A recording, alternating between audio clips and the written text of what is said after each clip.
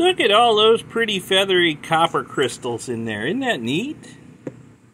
That's a fair amount. That's more than I was expecting to get.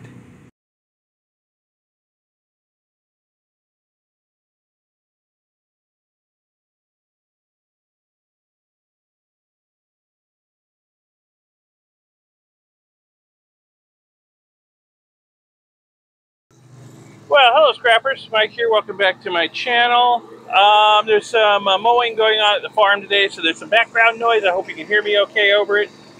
Um, and for a change, I'm not involved in doing the mowing, though I may switch out later and do some because we got a lot of acres. But anyway, this video is about what's going on in this bucket right here. And I'll show you what we got here. We've got a lot of deep green liquid in this bucket. And what is this liquid? This is the waste from my IC chip delegging process, where I dissolve the legs off of IC chips before I process them to recover the gold and silver. So there's a lot of iron in this bucket because the legs have a lot of steel in them. There's a lot of copper in this bucket because the legs have a lot of copper in them. And there's some tin in here too, I'm sure, because the legs are tin. So, what I want to try doing is recovering the copper out of this solution down here. So let's see if we can figure out a way to do it. We'll try a small scale test. If that works, we'll scale up and process most of the liquid in the bucket. Okay?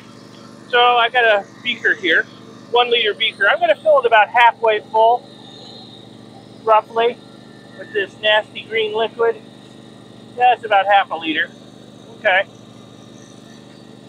and I keep it covered so rainwater doesn't dilute it. All right, so let's go over to the lab and start processing this stuff and see what we can do with it. All right, so it's a little quieter over here at the lab. Um, so we've got right about 500 milliliters of this deep green liquid. It's green because it's got a lot of copper dissolved in it. It started out as muriatic acid in a five gallon bucket, a couple gallons worth.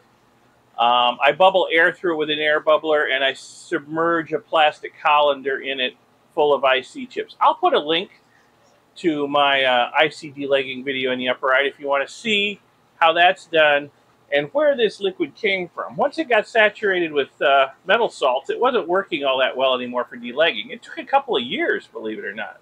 A lot of IC chips went through those buckets. I have two buckets, two five-gallon buckets I use for delegging. So now I want to try and get the copper out of this stuff.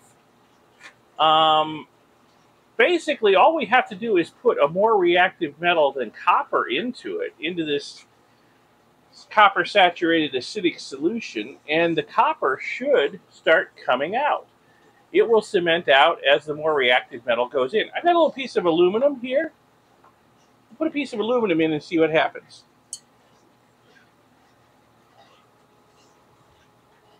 Not much immediately. Ah, there we go. Now we're getting some bubbling. Yeah, we're starting to get some bubbling. Oh, yeah. Oh, yeah, the reaction's getting more vigorous by the moment. And I use a small piece because I'm afraid that with a larger piece, the reaction could get extremely vigorous. So, We'll just let this sit in there and see what happens over the next few minutes.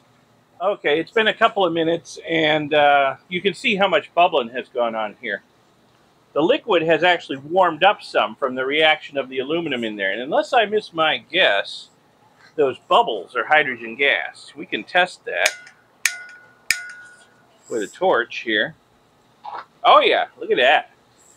Yeah, hydrogen gas. Okay, so I'm glad I used a small piece of aluminum because we could have had a much more vigorous reaction with a boil over here. In fact, I'll take a big piece of aluminum and stick it in there and we'll see what happens.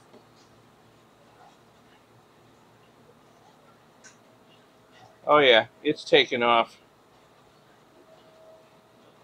Oh yeah, look at it go. Look at it go. Oh yeah.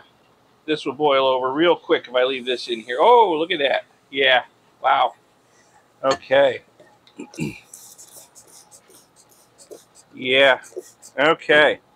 So I don't think aluminum is the way to go with this because the reaction is just going to get too vigorous, too hot. There's too much of a chance of boil over.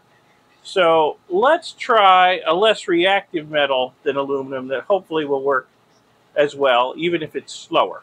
yeah, the aluminum reaction is starting to die down. That little ring I put in there must be about chewed up. So I'm sure a little bit of uh, copper has been removed from solution and fallen to the bottom of the beaker. But let's see if we can do better without chancing a boil over. So we're going to use a less reactive metal. I've got a couple of pieces of steel conduit here. Steel is basically iron.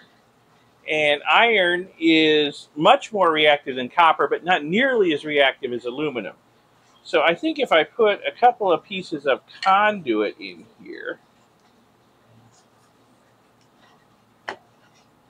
I'm thinking the reaction's going to continue, but at a much slower, more reasonable pace.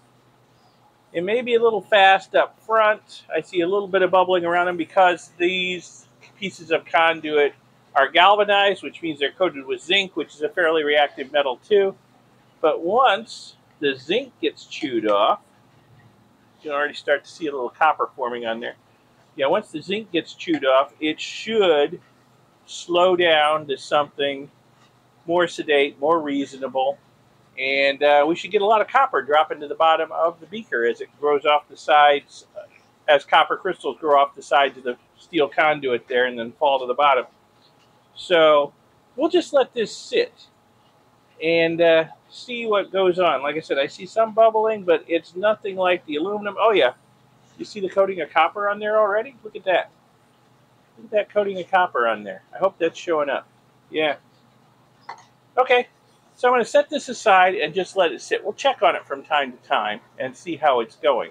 But this will probably take a day or two, I think, for the reaction to complete um, with iron rather than with aluminum, which was just going way too fast.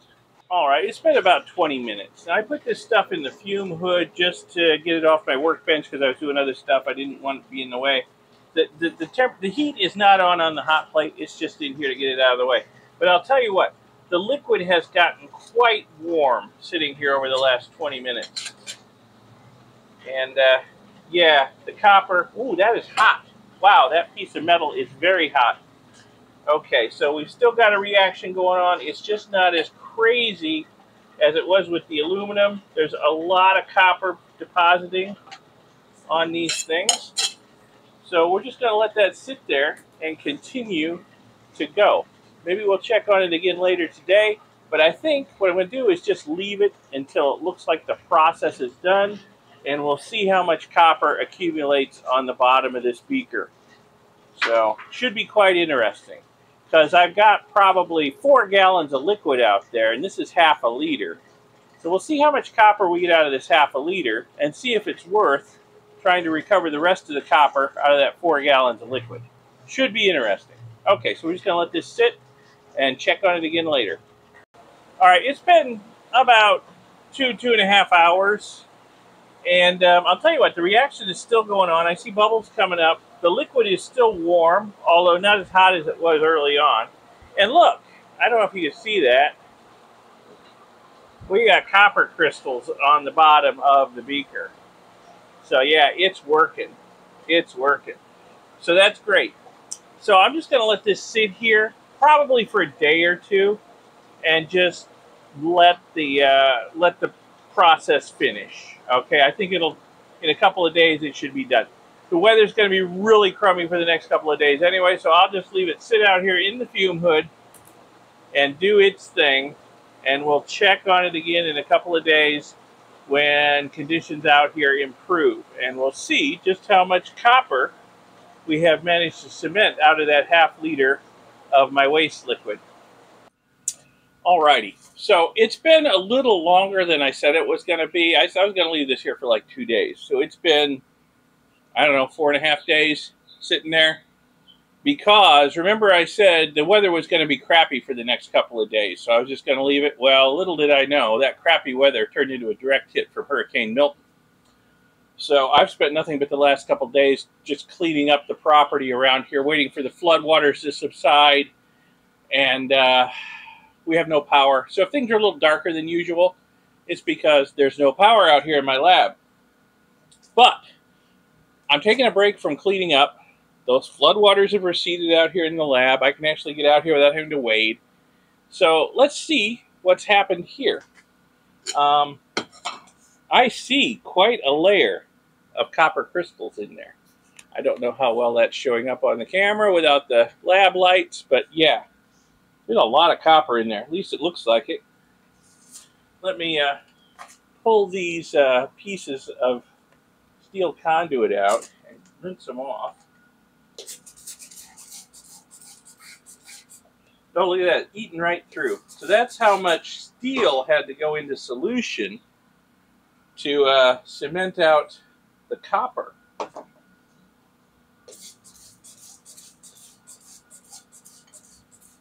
Was not eaten through, but I can tell it's a whole lot thinner. Thickness on that side. Thickness on that side. Wow. Yeah. Okay. So let me pour off this sort of greenish liquid and we'll have a look at what's going on in the bottom of this beaker. Yeah, our power may be out for a while. We've been running on generators for the last three and a half days. Went out looking for gas for the generator today.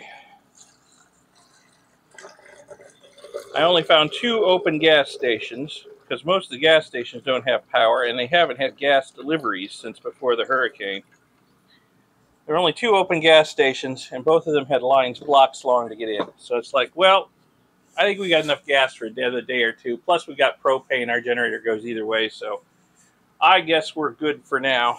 All right, so here's some rather dirty copper in the bottom of this. I think it's got a lot of rust in it too. I'm going to give it a few rinses with uh, distilled water. I want to get the acid off of it because this was a very acidic solution. Still going to be very acidic.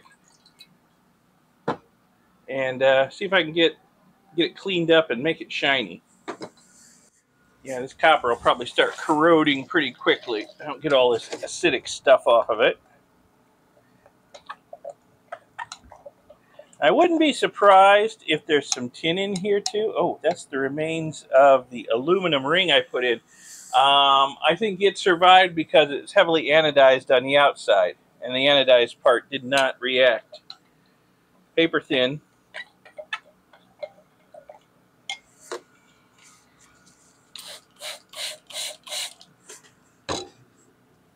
Now, I'm not expecting to get a huge amount of copper out of this waste material. I can go running to the uh, scrap yard and make a lot of money.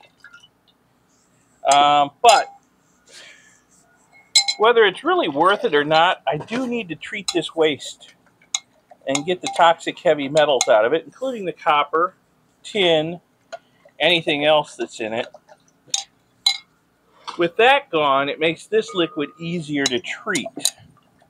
I'll try to uh, remember to put a link to my uh, waste liquid treatment system in the upper right. You can check that out if you like. But once this liquid has all the toxic heavy metals out of it, it's sort of yellow-green color is indicative of uh, iron. Mostly what's left in it's iron.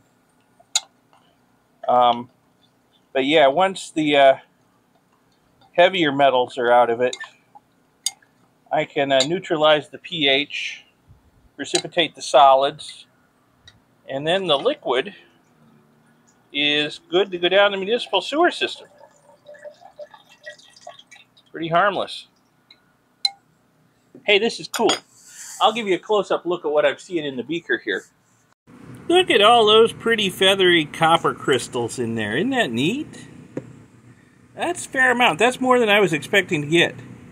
That's really cool. All right, I'm going to give this stuff a few more rinses with distilled water, and then uh, we'll dry it out and weigh it. All right, so this is about the fourth rinse water I've got in here. Let's give it a test with some litmus paper and see if it's still acidic. Nah, that's pretty close to neutral. Okay, good. I've got all the acid off of it. Maybe the stuff won't tarnish immediately. We'll see, because those crystals are really pretty. Alright, so let me dump off this water. Maybe I'll give it one more rinse just to be certain. And then we'll dry it out. All right, now I need to dry this stuff out so I can get an accurate weight on it. But I would normally just put the beaker on my hot plate and uh, dry it out that way. But with no power, that's not an option. So I think it's a nice sunny day, as it generally is after a hurricane, when you don't have power and air conditioning. Um, I think I'm going to just put it in this uh, gold pan here and set it out in the sun and let Mother Nature dry it out and while that's happening, I'll go back to working on cleaning stuff up and fixing stuff. I've got to repair the enclosure around back where my kilns are. The hurricane pretty much destroyed that. I don't know if I can repair it. At least I want to get a roof over the kilns before it rains again. They've actually had a chance to dry out a bit over the last couple of days. So, all right. So let me get this out in the sun get it drying out. And once it's good and dry, we'll weigh it, see what we got. All right, so this stuff's been in the sun for a few hours. It's good and dry. Um, let's weigh it up and see what we've got here. Let's see. Okay, we're on the gram scale.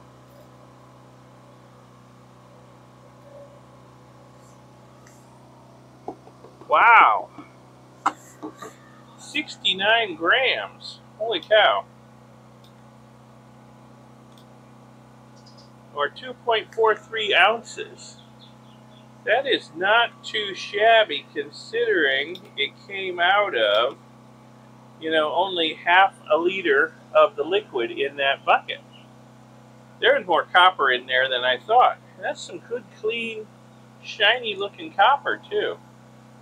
I'll bet there's some tin in it. I wouldn't be surprised. It might be more of a uh, a bronze than a copper, but it sure looks like copper. I'd say tin's probably a minor constituent compared to the copper. Okay, that's cool. Well, I think that was a pretty good result from half a liter of this greenish liquid, which I have four-ish gallons of. Um, mm, there's there's a layer of sludge on the bottom, so I'm not sure exactly how much liquid there is here. But uh, wow, I think I can get a lot of copper out of this liquid. And I need to treat it anyway, so gonna go ahead and do that. Figure out a way to process the rest of the liquid in this bucket. So I'll put my thinking cap on, gather up some scrap steel, and uh, we'll figure out a way to do this in the next video.